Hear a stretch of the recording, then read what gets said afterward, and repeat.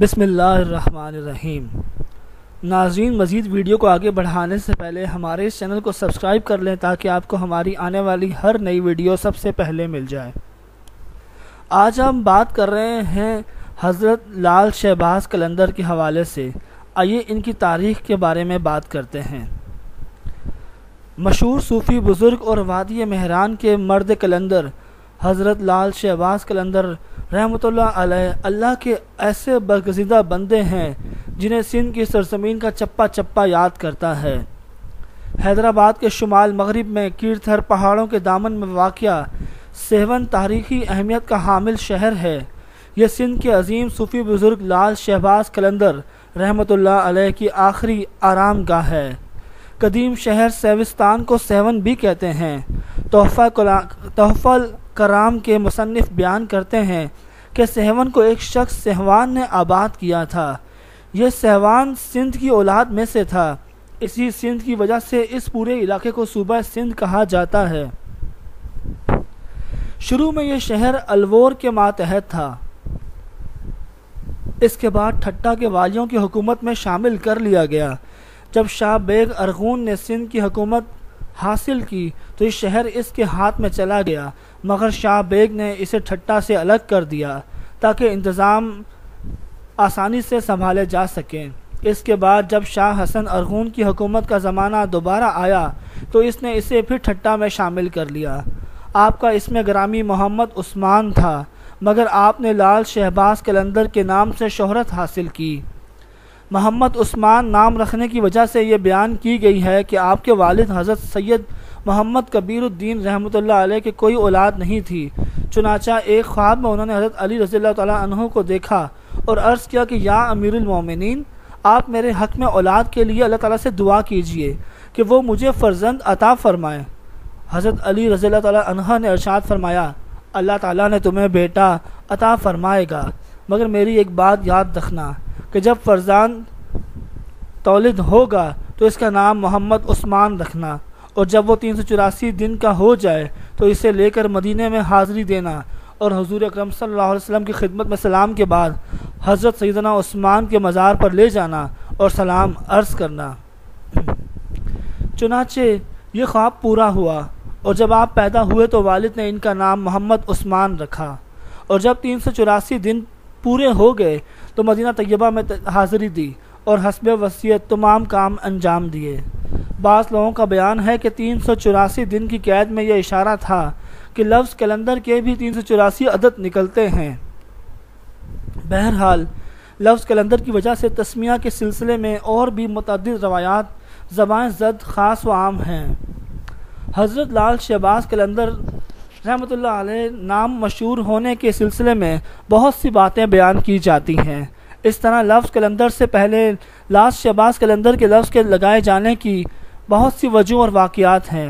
ایک بات یہ بیان کی جاتی ہے کہ آپ سفید لباس پہنا کرتے تھے، مگر ایک مرتبہ دہلی میں ایک مولوی صاحب اپنے واز میں سرخ رنگ کا ذکر کر رہے تھے اور فرما رہے تھے کہ حضرت امام حسن رضی اللہ تعالیٰ عنہ کو سرخ رنگ بہت پسند تھا۔ چنانچہ اس دن سے آپ نے سرخ رنگ اختیار کر لیا۔ ایک اور قصہ یہ بھی مشہور ہے کہ آپ عالم جذب میں چھوٹے چھوٹے پتھروں سے کھیل رہے تھے۔ انہوں نے انہیں آسمان کی طرف سے اچھالتے تھے اور پھر اپنے کرتے کا دامن پھیلا کر انہیں دامن میں لے لیا کرتے تھے۔ کسی شخص نے کہا کہ پتھروں سے کھیل رہے ہیں۔ اللہ والوں کو تو لالوں سے کھیلنا چاہیے۔ آپ نے یہ بات سن کر کرتے کا دامن چھوڑ دیا اور وہ پتھر جو کرتے کے دامن میں آئے تھے سب لال بن کر زمین پر گر گئے اور چاروں طرف سرخ روشنی سے پھیل گئی۔ آپ اس دن سے لال شہباز کلندر کہلائے جانے لگے۔ یہ نام دو طرح لکھا ہوا کتابوں میں ملتا ہے۔ ایک لال شہباز کلندر اور دوسرا لال شہباز شا لال شاہ باز کلندر غرض صحیح حال تو اللہ تعالیٰ ہی جانتے ہیں کہ محمد عثمان کو لال شہباز کلندر یا لال شاہ باز کلندر کہنے کی اصل وجہ کیا تھی؟ کچھ لوگ آپ کے نام کے ساتھ مخدوم بھی استعمال کرتے ہیں اور کہتے ہیں کہ آپ کو مخدوم کا لب لقب ملتان سے ملا تھا، جبکہ آپ ملتان میں حضرت شیخ بہاؤدین ذکریہ ملتانی کے پاس منازل سلوک طے فرما رہے تھے۔ آپ کا اس میں گرامی عثمان تھا، لیکن عام طور پر لال شہباز کلندر کے لقب سے مشہور ہیں۔ یہ لقب آپ کو آپ کے مرشد نے دیا تھا۔ آپ حضرت امام محمد باقر رحمۃ اللہ علیہ کی اولاد میں سے ہیں۔ سن شعور کو پہنچنے کے بعد حضرت بابا ابراہیم رحمۃ اللہ علیہ کی خدمت اقدس میں حاضر ہو کر ان سے شرف بیت حاصل کیا۔ اور ایک سال کی مختلف عبادتوں اور ریاضتوں کے بعد انور الہی سے اپنے قلب کو روشن و منور کر کے بابا ابراہیم رحمۃ اللہ علیہ سے خلافت حاصل کی۔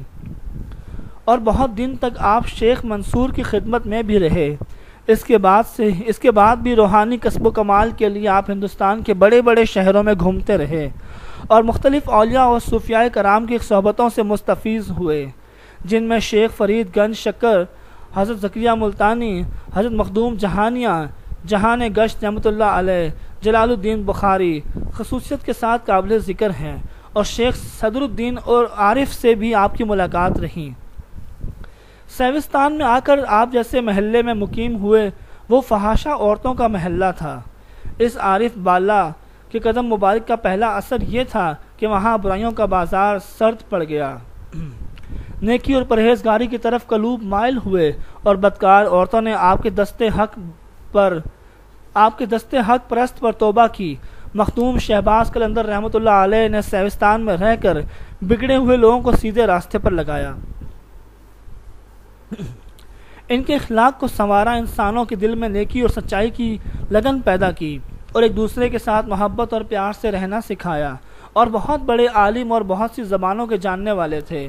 اور علوم صرف و نحو میں پوری مہارت رکھتے تھے۔ میزان الصرف اور میزان الصرف اور صرف صغیر کتابیں جو عام طور پر مدارس عربیہ میں پڑھائی جاتی ہیں، وہ آپ کی تصنیف ہیں اور آپ ہی سے منسوب کی جاتی ہیں۔ میزان الصرف تو آج بھی درس نظامی میں شامل اور عربی مدارس میں پڑھائی جاتی ہے۔ حضرت لال شہباز کلندر چونکہ مذہبی علوم کے ماہر تھے اور فارسی و عربی زبان پر پورا عبور رکھتے تھے۔ اس لیے اکثر اہل عالم آپ کی خدمت میں حاضر ہو کر اور مسائل و قواعد میں آپ سے استفادہ کرتے تھے۔ یہ بھی کہا جاتا ہے کہ ملتان میں حضرت زکریہ ملتانی نے جو مدرسہ قائم کیا تھا، اس میں آپ نے کچھ عرصہ درس تدریس کی خدمات بھی انجام دیں اور صرف نحو کے شائقین خاص طور پر آپ سے سبق لیا کرتے تھے۔ آپ شعر و سخن سے بھی دلچسپی رکھتے تھے، بلکہ اپنے دور میں صوفی شعراء میں ممتاز مقام رکھتے تھے۔ صوفیاء کرام کی محفلوں میں آپ کا عارفانہ کلام ذوق و شوق سے سنا جاتا تھا۔ آپ عثمان تخلص فرماتے تھے اور اس نام سے بڑی محبت رکھتے تھے۔ عقیدت مندوں نے آپ کو متعدد القابات اور خطابات دیے اور وہ سب آپ کی حیات ہی میں بکثرت استعمال ہونے لگے۔ مگر آپ اس وقت بہت خوش ہوتے تھے جب کوئی شخص آپ کو محمد عثمان یا عثمان مروندی کہہ کر مخاطب کیا کرتا تھا۔ مقالات الشعراء شائع کردہ سندھی ادبی بورڈ نے آپ کی ایک عدد غزل نقل کی ہے، جو اپنے جو اپنی معنونیت کے اعتبار سے آج بھی مشائق حضرات اور صوفیاء کرام کے حلقوں میں مقبول اور معروف ہے۔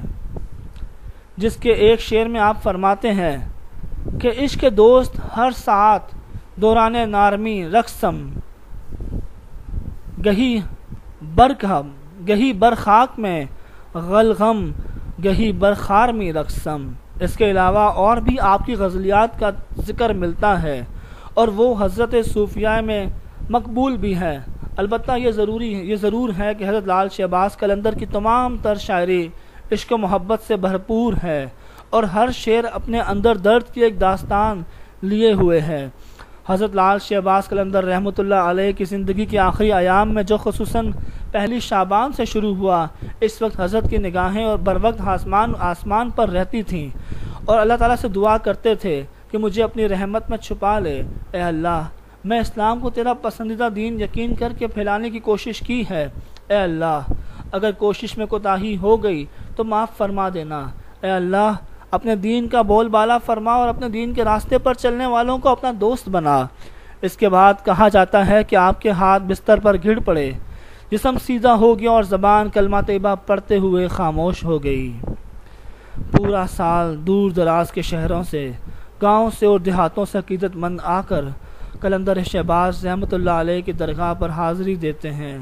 اور عرس کے موقع پر مریضوں کا ایک ہجوم ہوتا ہے، جو یہاں آ کر آپ کے حضور خراج عقیدت پیش کرتے ہیں۔